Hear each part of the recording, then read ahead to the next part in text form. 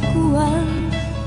Oh Allah Korban keangkuhan Maafkan mereka yang tak mau